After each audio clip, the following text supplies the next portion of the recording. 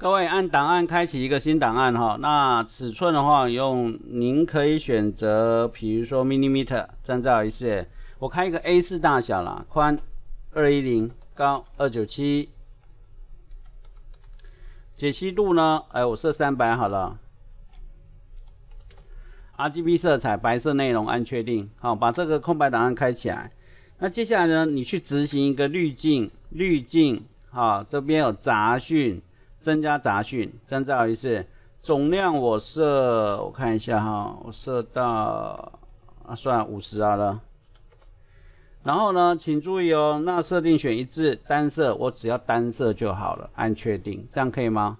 我要做什么，你知道吗？我要做镭射雕刻哦，它不是有要设计一种纹路，然后到时候刻，它就把它刻起来，刻起来，刻起来啊，我有镂空的网纹呐，一个类似像网复杂的那种网纹。那如果那个你用 Illustrator 或什么来画，那个真是画到晕倒，真造一次。所以有时候我们可以透过一些影像处理软体啦，或者是在以拉的一些图样设定呢，来达到我们要那个网目的一个感觉。哦，可能是这个，也可能是星形，然后干嘛？好，我们等下会来做。好，请你直接执行，我稍微把它铺亮一点，影像调整亮度对比啊。那亮度我调，我看一下，我调大概三十五好了。增照一次，对比是零了哈，按确定，整个调亮。因为我等下去做一个叫做彩绘玻璃的部分哈，它会有那种边边线。那我希望说里面的格子那个的色彩不要太重了哦。那接下来呢，就是要去执行那个滤镜。来，这边是有滤镜收藏馆。那请你设纹理，这边是有个彩绘玻璃。那你说老师，为什么你这边是黑色？因为老师牵引色是黑色，这个才是黑色。参照一次。那接下来呢，我把它那个储存格的大小，比如说我把它存到，我看一下，弄大一点好了啦。我设到三十。那粗细的部分呢，我看一下，我调到十二好了。参照一次。光源强度啊，我设到。但这一个人条件了哈，我就设到十好了，亮一点，这样可以吗？有原因的啦。这时候按确定，各位只有这个。可是你有看到里面是还有一些灰灰浊浊的，可是基本上黑色是绝对黑的，对不对？这样对我来讲就比较有利了啊。我等下都可以把它铺掉，正照一次。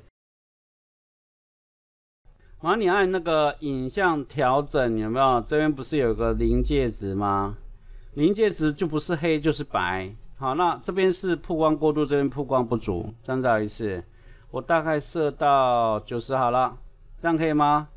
然后按确定，来，先按档案的储存，储存档案，来存在我们的位置啊。档案命名，你就选 PSD 啦，NET 好了，没有特别意思的哈。来按储存，这样可以吗？好，存好之后呢，哎，麻烦你。去开那个 Illustrator，先把 Illustrator 开起来。好，等一下我们要把这个转换成向量化的物件。来，老师这边按以拉，好，在以拉新增一个 A4 的，哈，这个档案，按档案置入，好，请你选择我们刚刚储存的，哈，档案，好，不设连接了，完整嵌入了，哈，按置入，好啦。我们来做一件事情呢，就是要把它转向量。好，这边是有个影像描图，请你点进来。是在干嘛？就说你可能结构太扎实了，解析度太高了。参照一次，他当然希望这样降低你的解析度会比较好。可是如果你要求品质，他也认为说啊，你小心一点啊，这样子。哎，我我是翻页太牵强了，随便了。来按确定，它有个不再显示，它就不会吵你了。参照一次，当然。运算的速度会比较慢，好，但我觉得这样效果比较好，看各位了，好，等它一下下。那等一下我们可能要稍微调一下它的里面的设定值，你可以透过这些设定值提高它精确度，或下降一些那种所谓的控制点的部分啊，就是那个接锚点的部分了啊。这边会有个影像描图的面板，小小的，所以你要特别注意。那接下来呢，我把它整个都打开。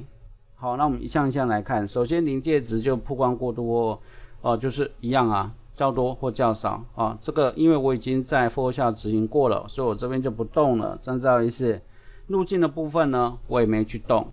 好，因为我觉得还 OK，它会用预设值来跑啦，征兆一次，哦，五十七十五，然后二十五，这个我都没有动，有没有路径的吻合度啊？数值越高，表示呢那个越紧密了哈，就是那个贴合的效果越紧密，当然你的锚点会增加，那。